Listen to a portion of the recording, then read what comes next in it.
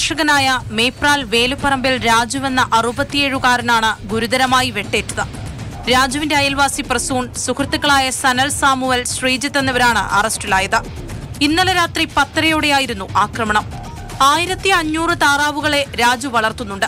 പ്രസൂണിന്റെ വീട്ടിൽ വളർത്തുന്ന മൂന്ന് നായകൾ താറാവുകളെ സ്ഥിരമായി കൊന്നു തിന്നുമായിരുന്നു തിങ്കളാഴ്ച വൈകിട്ടും മൂന്ന് താറാവുകളെ നായകൾ കൊന്നു.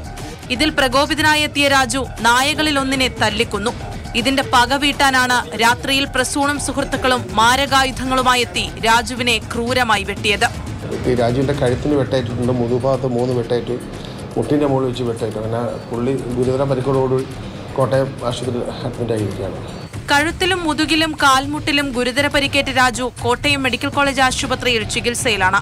തിരുവല്ല കോടതിയിൽ ഹാജരാക്കിയ പ്രതികളെ റിമാൻഡ് ചെയ്തു.